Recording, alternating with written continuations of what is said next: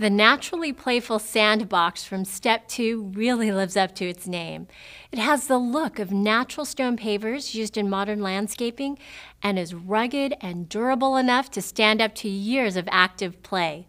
It has four built in seats that are designed to look like cornerstones for an upscale, modern look. For those times when I don't want the kids to get too sandy, they can sit on the seats and dig without getting covered with sand. When playtime's over, we just put the lid on top to protect the sand and to keep animals out. The lid has a great sunshine motif with a natural stone look that enhances our outdoor decor. This is one backyard toy I am proud to share when company comes over.